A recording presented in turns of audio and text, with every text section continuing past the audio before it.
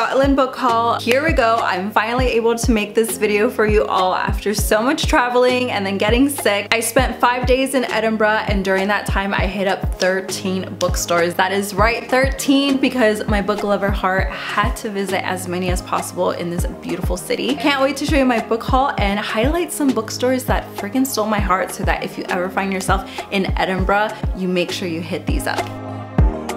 What is up mi gente? Welcome or welcome back. I am xo Jo. After traveling here, traveling there, I finally got so freaking sick. I tried to recover super, super fast because one of my best friends was getting married and his wedding was fast approaching. So as soon as I recovered, I flew straight to this huge, huge event and now I'm finally back. I'm trying to settle into a new routine out here in California. So please bear with me as I figure out my new filming spot. I'm trying to figure out how to bring in my book books, how to really set up in my new home. But I super, super missed you and I was so excited to make this video. Scotland has been on the top of my list for multiple years now. And of course, the panoramic stopped my plans, it stopped everyone's plans, and I was finally able to visit the beautiful country of Scotland this year. I was super, super grateful, stunned, overwhelmed by this gorgeous, gorgeous city. I can't wait to go back. I definitely have way more I need to see, including the Highlands, the Lowlands, maybe some islands. I am so freaking happy that I made Edinburgh my very first city. It is filled with so many books and the city just stole my heart, which is why I'm also so happy that I'm wearing this hoodie that I got there. It's super cheesy, I know. It just says Edinburgh, Scotland. It's a crew neck, but it's so warm and cozy. I'm not usually the type that buys a hoodie or a t-shirt that has the city's name on it where I'm visiting, but in this case, I just fell in love with the sweater and I had to get it and it's so cozy. Now, if you didn't know, books have multiple versions. We have our special editions, but we also have book editions that are exclusive to its own country. So Spain might have a different one than Australia, might have a different one than Canada, might have a different one than the US. I mean, we have all these different versions out there in the world. So when I was going to Scotland, I knew I was going to UK editions, Waterstones, Blackwells, Toppings, Territory, and I just had to make sure I picked some highly anticipated releases. First one I want to actually feature is A Study in Drowning. That is right, I was able to snag myself a Waterstones edition. I saw this one in person. It was sold out online. I see a lot of people looking for this edition as well. And I mean, look at it. Look at these edges. It is so freaking beautiful. And yes, it is dark academia. This is A Study in Drowning by Ava Reid. It's been a highly, a highly anticipated release. It has a beautiful foil. The only enemy is the sea. It sounds so mysterious. And it's so funny because I just love this edition so much, even though I know that one of my sub boxes created this and redesigned it, I just had to get it. And this actually came from one of my favorite stores, which was Blackwell's. So I was really surprised when I visited Blackwell's. I thought it was just gonna be super small, not a lot to feature, and I was so dead wrong. I had no idea that Blackwell's was actually recently bought by Waterstones. And so because they are now part of the Waterstones franchise, they have a lot of Waterstones editions.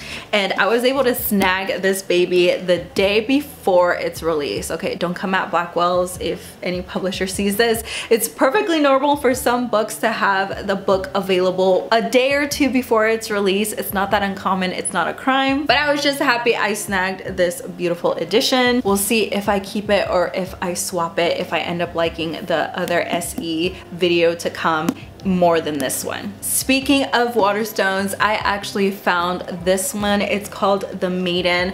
I read the blurb and it just sounded so incredibly interesting and it actually takes place in Edinburgh. Before we get to the blurb, look at these edges. Okay, I gotta admit, like yes, I do judge a book by its cover sometimes. It is so beautiful. I mean, Waterstones and Blackwells in general had so many beautiful editions out there. But fortunately, I don't just buy for the cover, I least least most of this haul isn't just bought for the cover. I had to make sure I actually enjoyed this book because uh, your girl had limited space in her suitcase, all right? Like one suitcase, having to come back to the US, I was definitely like, I'm just gonna leave clothes behind so I can haul all these freaking books. 13 bookstores means at least 13 books, I was guessing. You'll never guess how many books I actually ended up taking home with me. Now this is actually inspired by real life events where a woman was accused of killing her lover. And the real real question is why would she? You know, why would she risk having a lover when she had a, a husband, she was rich, she was high in society, so why would she take up a lover and then why would she throw all of that away by murdering him? So this is told really from her perspective and it's really supposed to touch on the unheard voice of women when it comes to these situations. So we're gonna explore this. It was really cool. I started reading it while in Edinburgh because it just caught me right away. Like the first page just captured me. So I'm actually really enjoying it so far, but like the mood reader I am, I ditched it and started juggling three other books. So we'll see when I finally get to it. But this book is certainly promising and those edges, I cannot get over these gorgeous edges. Now, while I was in Waterstones, I was looking for a tote. I was like, if I can't get a book, I'll get a tote or I'll get a bookmark. And I actually ended up finding books and totes at Waterstones. And I got this tote bag. It says, I'm a bookiver and it has Waterstones on the side of the book on the spine, which I really liked because I really like to know where my totes come from, you know, like something different but not always canvas all the time. This was so cute and it actually ended up being a lifesaver. I ended up using this for most of my trip, which is why the straps are all skinny because I was just taking this everywhere. And you can actually see it in some of my Instagram pictures because I did post some while I was in Edinburgh. And I'm sorry if I'm so gushing and fangirling over this trip. It was just everything my little heart desired and even more. The streets, the atmosphere, the food, the people. Maybe it was also nice being in a country where I am fluent in the language and I didn't have to translate everything in my head, but I was just so happy. It gave me Pacific Northwest weather vibes and I was just happy to walk around everywhere, okay? So this is one of, guess how many tote bags I bought? I will tell you at the end of this video so that you don't judge me while watching this the whole time. So like I mentioned, because there are multiple editions, I just had to snag the Legends and Lattes UK edition. Look how beautiful this is. We may have a consumerism issue out here in the book community because did I need this? No, but is it really nice to have? I guess. it features a character that basically brings coffee to a town for the first time and they don't know what coffee is.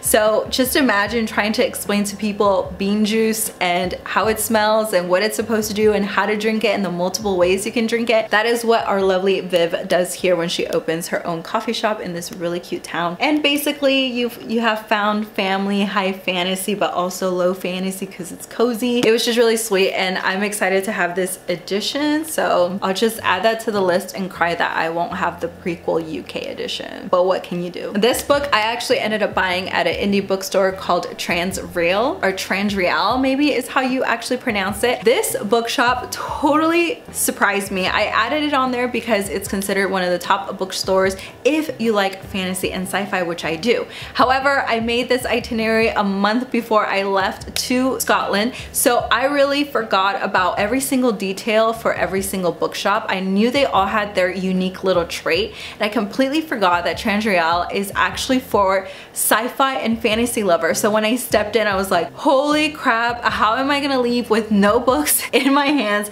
This is amazing. It is my genre. It is my time to shine. I was so ecstatic. It is much smaller, much cozier. The owner was really nice. He just let you do your own thing. And I just had a ton of fun in there. And I may have scared some girls in there too because they were talking about Masters of Death and whether or not her friend should pick it up and I was like girl you need to pick up this book and like who even asked me. The other book I actually picked up is The Sun and the Void. If you don't know what it looks like here it is. This is the UK edition. It was I think featured in one of the sub boxes. They had edges. Unfortunately this one does not have edges but I just thought it's way prettier than the US version which I'm popping up here for you so you can see the differences and see which one you like more. Let me know down below. So I picked this one up. It is also a highly anticipated release. I've heard really good things about it. I kept checking reviews to make sure I was pacing myself and picking books that I was like, is this worth it? Is this not? If I hadn't fully heard about it or haven't fully looked into it myself, most books I bought were in a pre-list. I had a priority list,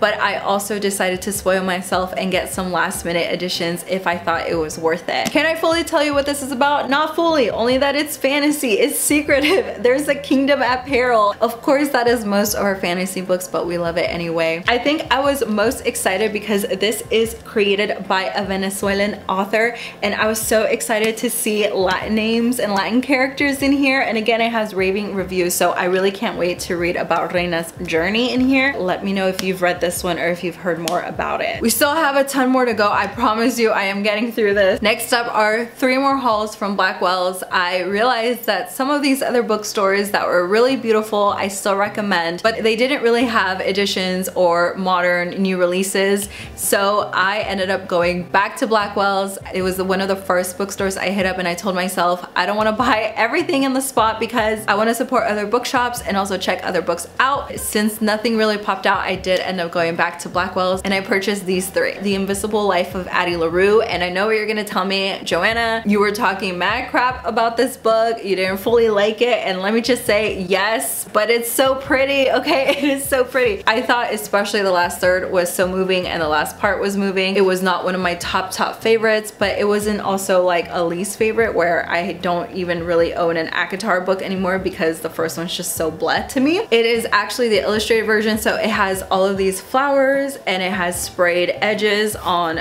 the top and bottom and it has these gorgeous illustrations and that's what sold me. It's just everything that she talks about in here because she has been drawn throughout her life even though she's forgotten. They actually show you some of those drawings and illustrations that she talks about when she sees paintings of herself. Like this famous one with her holding a bird. It's just really pretty. I really enjoyed seeing all the illustrations and had to have it myself. And Happily Ever April over here on YouTube may have also convinced me that I need to go back and snag this. So I did.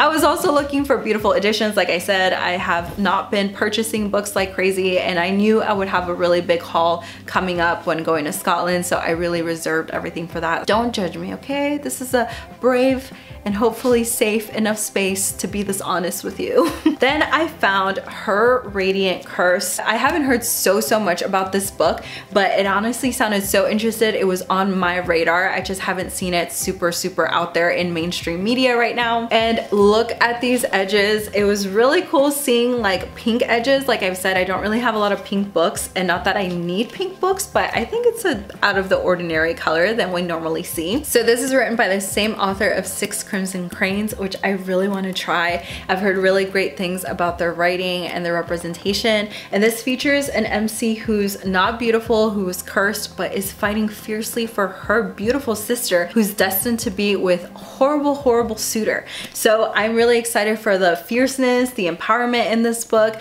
I'm very excited to read it. And again, if you've read it, or if you've heard more about it, let me know down below. And then I could not believe my luck, okay? I found Divine Rivals in hardcover, okay? Because I'm a hardcover girly. I love collecting hardcovers because they just last a little bit longer in the way that I like them. It's a me thing, okay? Definitely made my life more complicated because luggage weight, hardcover, way less books, but worth it. I was so excited to see this because this has been out for a while now and is so, so popular. I've talked about it here on this channel. I love the enemies to lovers here. Her writing is spectacular. It just stopped me in my tracks and very rarely can an author really stop me to admire their writing and a beautiful sentence structure. So this has been really sweeping Bookstagram because of the romance and the sweetness and the banter between Kit and Iris. So I have a special special edition from Owlcrate that I absolutely cherish, but I could not help but snag this one, okay? Illustrations like this are not normally my ultimate favorite, but I just thought this was so lovely. I really like this one so much, and I'm just gonna cry because I also won't be able to get its companion, Ruthless Vows. They just released the cover for this, and it looks so much more intimate than I expected. This was the only one they had in that Blackwell's, in Waterstones, in person, like they searched searched, okay? And this was the only one they had. So I was like super, super, super happy to snack this one up. I just had to because it's just such a sweet story that I really cherish. But as we're going through these books, let me know if you like this version, my version, the US version, whatever it may be. Let me know what you prefer as we're going through these books. Next up, we have to talk about McNaughtan's and Typewrongers. These are actually pretty much conjoined even though they are separate independent bookstores. Typewrongers is more about typewriters and McNaughtan's is more used books. So I didn't fully know what to expect except that they were closed down during the panini and I was really excited that they were open back up during my visit. So I was so excited to go in and I have to say that out of all the booksellers that I interacted with, the bookseller in Type was so freaking kind and they even gave me the cutest little origami and apparently this is a thing. When people go shop in there, they end up collecting all these different origami creations. I've seen elephants, I've seen giraffes, I've seen uh, different different creatures. So I was really surprised when I was purchasing my book, they asked me, do you like dragons or do you like, I don't even remember what the other one was. And as a fantasy lover, I was like, dragon. What does this mean? I thought they were gonna stamp my book and put like a dragon or something. Nope, they came out, they pulled out the cutest little dragon that was folded. It was so, so adorable. I'll show you a picture right here. It was so cute. I made sure to take care of it so it could come back and not be squished or anything like that. It was such a sweet touch on their behalf. I ended up getting an indie bookshop exclusive version of The Ghost Ship. So I just saw this on the shelf and it stood out to me. It's a book about a pirate. It has a lot going on because it's also inspired by real historical events and it focuses a strong woman pirate. So I was so excited. I kept reading reviews. I realized it's a whole series. There are multiple books, but, but they're not really together. So you can read them in chronological order. Some of them you do have to read to understand, but this one you do not. So I was so grateful because out of all of them, this sounded the most interesting interesting to me. I mean, the ghost ship, like, are you kidding me? It's bringing me back to Captain Jack Sparrow and all of that era. I just love a good pirate book. And then, of course, look at these edges. Oh my gosh, I'm just dying. It is so stunning. It is so beautiful. I just love this edition so much. It's a limited edition for independent bookstores only. So I was also really happy to support an independent bookstore because I think if you can, you should, you know? I was super excited. And in the end, look, they did actually end up putting the Type Wronger book stamp in there. They did ask me if I wanted it before doing this. So if you don't want your book stamped because you don't like that, it's totally okay. But I was happy to get it because at the bottom it's says Books Edinburgh and I was just really happy to have another memento that hey this came from one of the bookshops on my list and I was so excited to get it and of course it is also signed so shout out to that bookseller it was such a sweet experience and I was really happy to also purchase an actual book from there and like support them. By the way if you are enjoying this craziness and this book haul make sure you hit that like button or even if this isn't really your favorite video you can also hit that dislike and just let me know. Okay so this next one one I actually got from Waterstones and I have to say I was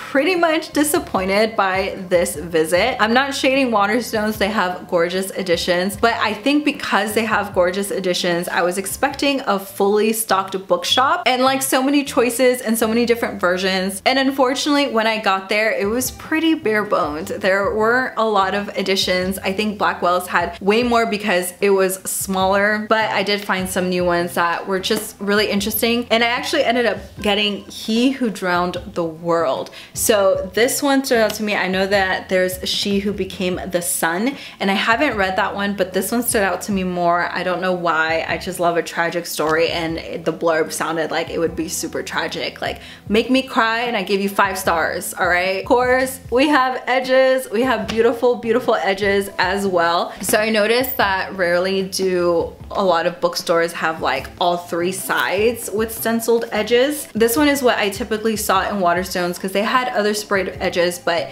again, if the book doesn't fully interest me, I'm not gonna get it just for the edges. Don't look at Addie LaRue. Typically they have stenciled edge and then a sprayed edge. So if you don't know, sprayed edges usually means one solid color, stenciled edges usually means a pattern or there's some type of illustration on there. So when someone has three stenciled edges, it's like, oh my God, like a collector's dream. but I thought this was lovely. I can't wait to get into it. And as far as I could tell, I do not have to read She Who Became the Sun to understand He Who Drowned the World. Now there are a ton of other bookstores I visited that I haven't fully talked about. One of them is Golden Hare. I think someone in my family actually took that tote bag, but I did get a tote bag from Golden Hare because unfortunately I didn't see any book that I really, really wanted or that stood out in some special way. And Golden Hare is an independently owned bookshop. I actually went to Golden Hare after visiting this really, really beautiful neighborhood. I walked down Dean's Village. It was so gorgeous. It's along like this river lake thing and you actually see a lot of like old buildings. It is beautiful inside. It is very warm. It is cozy. I have some of my favorite pictures from there. It was a really nice bookstore and I really didn't want to leave without supporting if I was able and I did find a tote bag that I thought was different. I'm kind of tired of seeing just blank canvas. I'm trying to get different tote bags with different colors and I saw that they had a navy blue one that said Golden Hare and it had the bunny on there or the hare I guess I should say. I saw many different bookstores and I'll label them all down below. I'll probably have to fully make a whole other video to tell you how my book crawl was and what I recommend if that's something that you're interested in seeing. For now, I'm just highlighting some of the bookstores that really, really stole my heart. And I have to mention Toppings. Toppings blew my mind. I did not expect this bookstore to be this humongous and have so many options. This is definitely the bookstore that I spent the most hours in. I spent at least three hours and probably another three later on. I went back and made final purchases before the end of my trip. This was definitely the place that had way more fantasy, way more YA fantasy in hardcover. So a lot of these bookstores did have YA, Waterstones had a YA section, but it was all mainly paperback, which was a bummer to me because like I said, I'm a hardcover type of person. Here is the Toppings book haul, starting with A Frosted Star. So here's something that's really cool about Topping and Company. They actually add this plastic wrap around their covers and you can like take it off and it'll be totally okay. But as a person who was traveling and having to put these all in their suitcase, I was actually really grateful they did this because it made sure that, you know, I'm not smudging it, that I'm not really wrecking the dust jacket or anything like that. And they also have a lot of their own editions or signed editions. And so Toppings will put this little band inside that is removable. It's not a sticker, thank goodness. And it will say signed first edition for Topping and Company exclusively. They are definitely more of a franchise and bigger. I kept seeing it over and over because it's a newly released book and it just sounds so fairy tale like and so enchanting. And this one was a signed special edition with the golden swan in the cover, which just made it even better. Look at that. That looks so lovely. I was torn. I was definitely like torn between two different stacks that I even posted online and I'm really happy I was able to go back and like snag some of those as well. You can tell in the back where they are located. They have one in Bath which I heard is like the town of books, Edinburgh, Ely, and St. Andrews. Following that unexpected purchase is another unexpected purchase which is this one, Sparrow. So this just sounded so freaking interesting but of course it was the edges that caught my attention.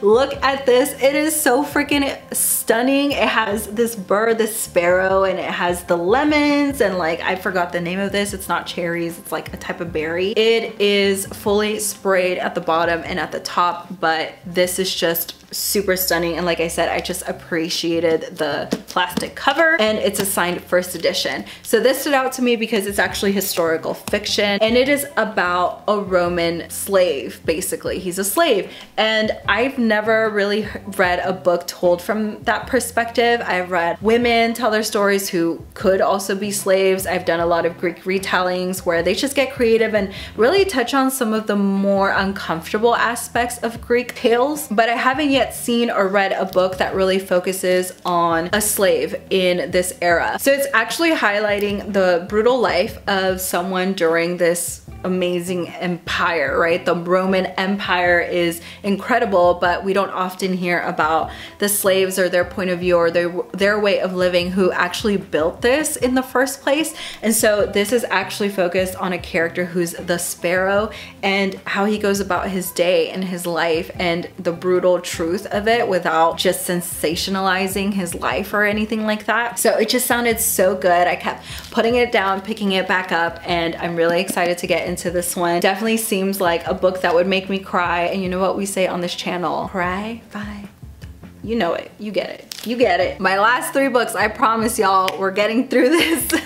On the top of my list, of course, was actually Once Upon a Broken Heart and that whole series. And you guys, I found it, okay? In hardcover, I found them. The jackpot. I was so excited to get both of these. I saw them, I snagged them. I actually only saw this at first and then I saw a pile in the corner under the table and I was just like bent like going through the books and I found this one, The Ballad of Never After. So Once Upon a Broken Heart is the first book. It is a spin-off of Caraval. If you didn't know, I've featured it, I've talked about it, I've recommended it. It is like the example of romantasy and also very fairy tale like. It is like our modern fairy tale take. Everyone's so excited for the third book that should come out this month. It is A Kiss of True Love. Again, crying because I won't finish my set, but super excited to have these stunning editions. So here's Once Upon a Broken Heart. There's no sprayed edges or anything. It's not the Fairy Loot edition or anything like that, but I was so stoked to see it because again, hardcovers are really the first print. After that, it's just paperback. And as a person who loves hardcover, I was really excited that I was able to snag this. And I was so happy again to find The Ballad of Never After. I was just so sad that I wouldn't be there to get A Kiss of True Love, the hardcover and finish my collection because it is completely sold out on Waterstones as well. So it's not like I can just order it and have it shipped. Plus I just hate paying for the shipping and I, I just hate it, okay? But like I went there, I'm gonna pick up as many books as possible and like ship it back myself. The back says not every love is meant to be. I haven't fully checked the inside. So a big reason they actually had these books is because they had a huge, huge event that featured Adalyn Grace, who's the author of Belladonna, they had Rebecca Ross, they had Stephanie Garber, they had Adrienne Young, and the fifth author is Rachel Griffin. But I was just crying because they were literally arriving the day I was leaving Europe in general, that I was leaving that side of the world. So I was actually flying back that same day they were doing that event and I was just there like three days shy from actually being able to go to the event. I was so distraught, but what can you do? But I guess it makes up for it a little bit because guess what this last book guess, guess what I found? Guess what I found? I found a Fire Endless in hardcover. I was so excited to find this gorgeous edition by Rebecca Ross. I, of course, was looking up and down all the used bookstores in Edinburgh for A River Enchanted in hardcover as well. But no, I just love this edition so much and it's going for like incredibly high prices and I snagged the last one. While I was there, I saw it the second day when I came back, I saw this edition. I was like, Snatch, you're coming home with me. I was squealing, I was like dancing on the spot, just so excited. Must have thought I was freaking nuts because I just came with this huge pile. Gonna have to do a whole other video on like consumerism in the bookish community and how I play a role in that and what I think and all of that stuff. But for now, we're celebrating the haul. Now there's one more bookstore I'm gonna highlight because I did get two tote bags from there and that is John Kay's on Victoria Street. Let me just tell you, Victoria Street is gorgeous and I'm gonna mention these things even though I know how harmful this series has been but Harry Potter and the Diagon Alley was actually heavily inspired or said to be heavily inspired by Victoria Street in Edinburgh because J.K. Rowling actually did so much writing there. And I didn't want to visit Victoria Street necessarily because I was like oh Diagon Alley. I wanted to go because I heard it's stunning in its own right and it has all these shops and all these really cute things and it was really beautiful. It was very lovely. Definitely when I was posting about it a lot of people complimented that street. And a few people also said it reminded them of Diagon Alley even though they weren't like the biggest fans. So definitely was inspired by that. Now John Kay's bookstore sits right on Victoria Street and is said to be the inspiration for Ollivander's I think for the wand shop. But I do want to give you some insight on why it's so popular and still so touristy today especially with book lovers that have loved the Potter books for so long. And so I did not really get anything from there but this tote bag because it's just straight up facts, okay? It says Edinburgh built on books and I was like, that's right baby, it really is. So Edinburgh has the very famous Edinburgh Castle that has gone through multiple hands and as a history nerd I could tell you all about it. But the point is it's a really large structure. It sits on this humongous piece of rock and it overlooks the entire city. Like at a lot of different points you could actually see this castle and I've gotten some stunning views where there's just nobody there and there are these two beautiful Edinburgh buildings and the castle's like right smack in the middle. It's just beautiful. So here we have the castle and it's sitting on that rock, but it says it's built on books and it's a book. And again, it's John Kay's in Victoria Street. And I just liked it so much because I wanted something that really touched on this, on the fact that Edinburgh loves booksellers, books, has so many freaking independent bookstores. Like I was just so shocked. I mean, I've lived in metropolitan cities before, like Berlin and Portland, and of course out here in California, but I've never seen so many indie bookstores in one place and especially filled with gorgeous editions. Y'all, I'm so excited to finally be back and doing more videos, talking to you all. I appreciate everyone that's been in touch over on Instagram and also on the Discord because yes, our readathon is continuing. It is at your own pace, whatever you want, more relaxed. I've loved talking to everyone on there and finding new friends. So I'll drop down the updated Discord link down below so that you join if you want. And if you're new here or maybe you're not and you're not yet subscribed, make sure you hit that subscribe button to hang out here with me some more. Thank you so much for watching and I will see you in the next video. Bye!